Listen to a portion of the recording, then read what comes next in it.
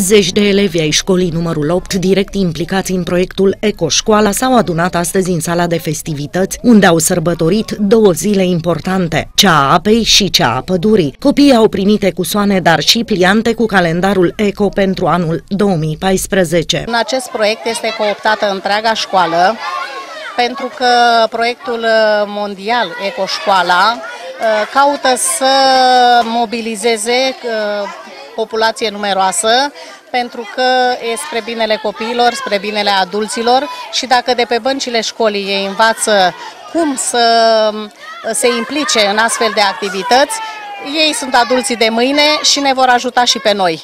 Aici sunt doar reprezentanții ECO și reprezentanții câtorva clase care sunt implicați și într-un alt uh, proiect numit Patrula ECO. La manifestarea din cadrul proiectului internațional Ecoșcoala, din care face parte și școala numărul 8, micuții au avut prilejul să asculte și un reprezentant al direcției silvice. În același cadru au învățat și cum se plantează un arbore. Până la zona coretului trebuie făcută planul asta, da, până, până aici. Și foarte bine tasal, astfel încât, repet, să nu existe aer la rădăcină. Aerul creează uh, disconfort și duce la mucegire și nu, nu se prinde proiectul respectiv.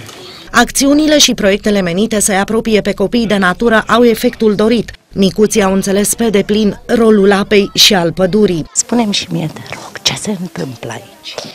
Este o acțiune desfășurată în cadrul uh, Zilei Internaționale a Pădurii.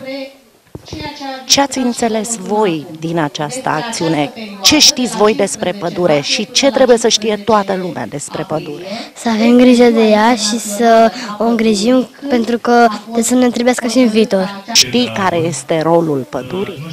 Da, să ne dea hrană.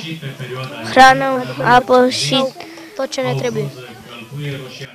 Tot ce ne trebuie ne dă pădurea. Adică? Adică ne dă apă, ne dă hrană, ne dă aer. Tot ce ne trebuie pentru a trăi. Cum ar fi pământul fără pădure? Ar fi foarte rău.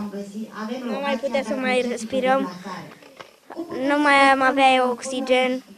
Dar nu am mai avea nimic fără pădure.